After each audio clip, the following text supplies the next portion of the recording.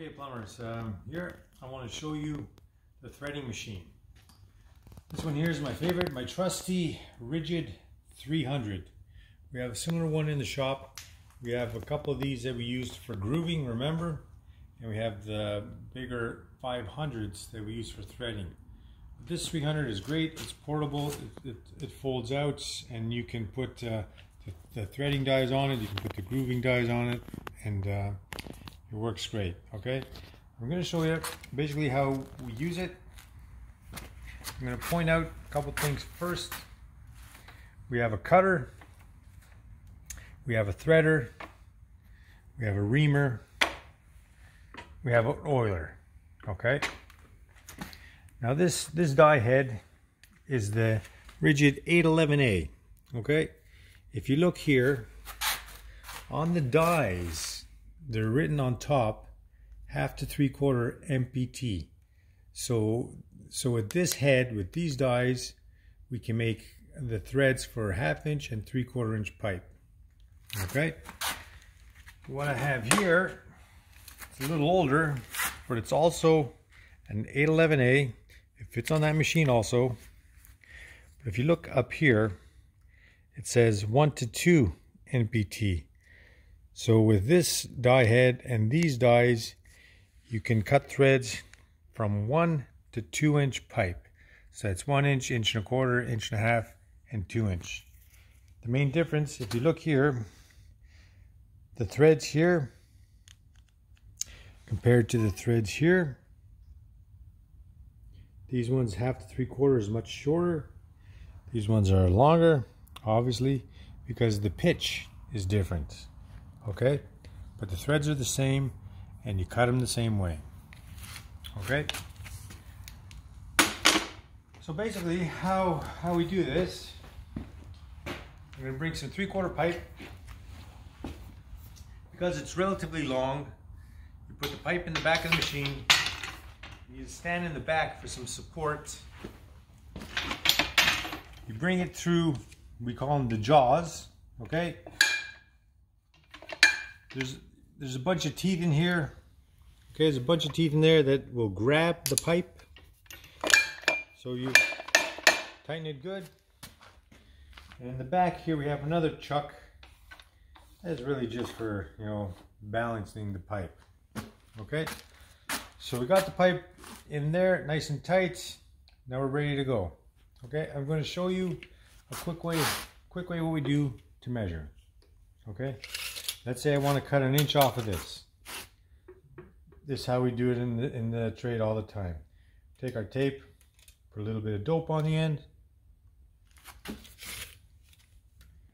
Use our thumb.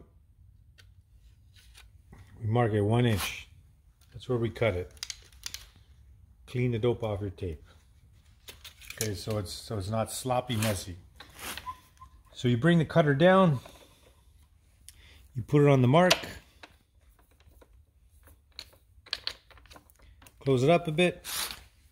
And then I'm going to start turning and I'm going to start I'm going to start cranking it. Usually we go the, the machine spins pretty quick, you'll see. We keep cranking, you know, four or five turns and should come off, okay? Here we go.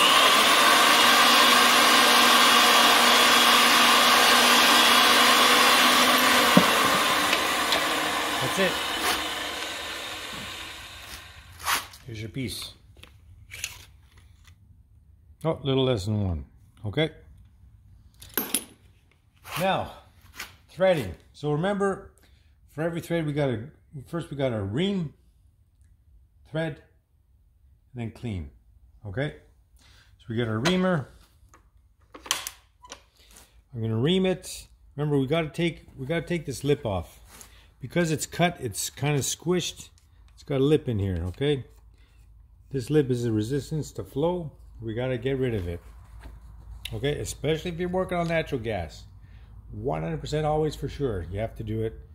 And even if you're working on steam, whatever, sprinklers, you always got to ream it so there's no resistance to flow. Okay?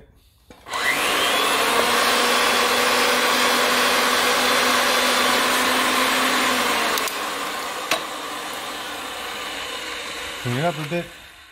Okay, if you noticed, nicely reamed. There's no edge in there anymore. Okay, so now we're going to thread it. This die head is open and it closes. So you, let's say, disengage it to, to clean it and to take the dies off when you finish your thread. But when you start, it's got to be closed. Because it's on a taper, if you look here, these threads are very small here and it'll grab the pipe. Okay, let's go.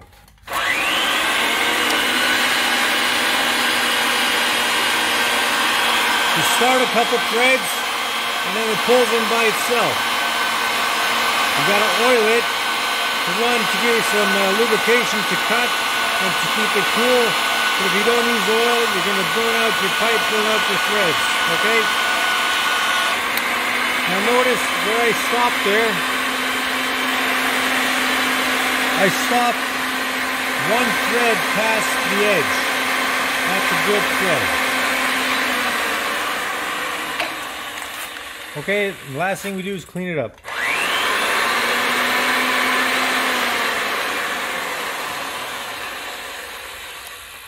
Okay, now this machine is just set up. I don't know if my threads are good or not, we gotta check it. When you're checking threads, use a T.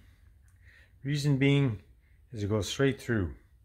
If you use a 90, there's a bend here, and there's a potential that your threads go too far and can, can get damaged and give you a wrong reading. Okay?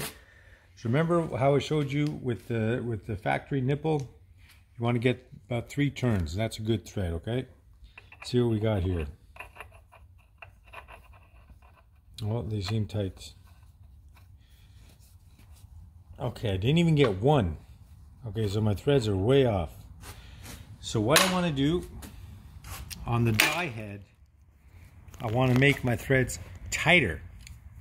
So to make the threads tighter, if you can see here, this line is connected to the inside of the of the die head, and this line here, where it says number two, that's kind of where you can move your adjustment towards. If you look a little closer, you got a three quarter and a half mark. So when you're using three quarter to half threads, sorry, three quarter to half dies, you're going to use these two lines as your engagement. Okay? If you're using one to two dies, you're going to use this for two inch, this for inch and a half, this for inch and a quarter, and that for one inch. Okay? But since we got three quarter pipe, we're going to use this line for a three quarter. So what you got to do is you got to close your dies so they're ready to thread. You loosen it off the adjuster and you move it ever so slightly, let's say up to the line, where, where's the three quarter line, okay? We're gonna try it now. Okay. These threads are already made. The pipes have been squished a little bit. So to check and to use, we gotta cut this off and we'll make a new thread, okay? So we open it, open the back, pull it ahead a little bit, lock it in, close it up. I just want to cut the threads off, okay? Open your cutter. Now we're to cut it.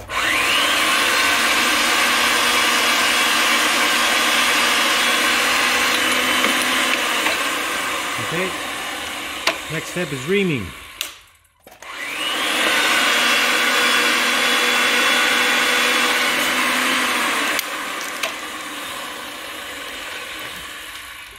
Now we're going to thread.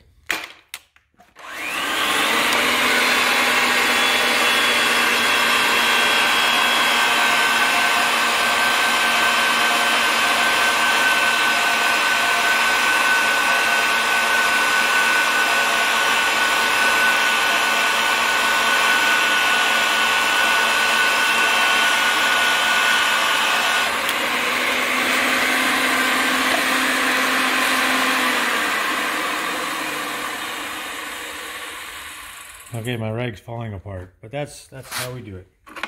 Now, check the threads. Okay, we're on. So, one, two, almost three. One, two. Uh, let's let's call that three. It's, it's a tiny bit tight, but to get that little extra depth is not so easy. So we're gonna go with this, okay? Threads will be fine, okay? And uh, that's it for now. Now the next next step is gonna be put the fittings on the pipe. All right, great.